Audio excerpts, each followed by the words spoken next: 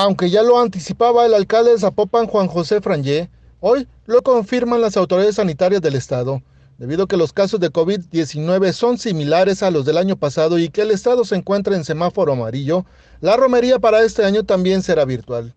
El secretario de Salud en Jalisco, Fernando Petersen, señaló que las condiciones no son las adecuadas para buscar aglomeraciones y generar más contagios del virus SARS-CoV-2.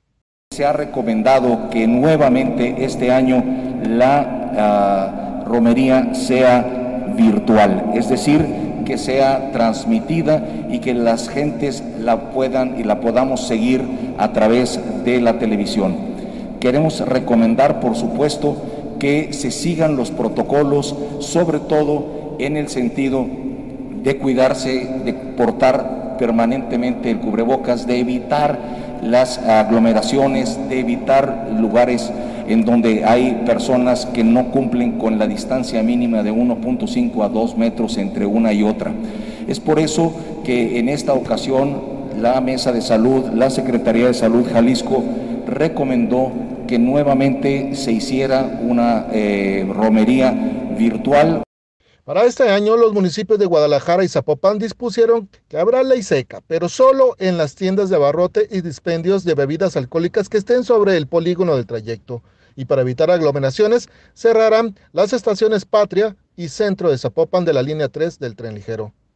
Todavía no está definido, como lo explicaban hace unos momentos, y también, bueno, pues no lo queremos dar a conocer cuál va a ser el recorrido para evitar conglomeraciones.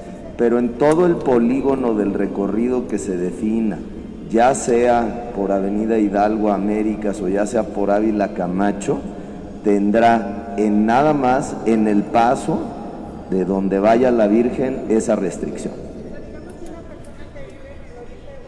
No tiene ningún problema y se podrá comprar sus cheres.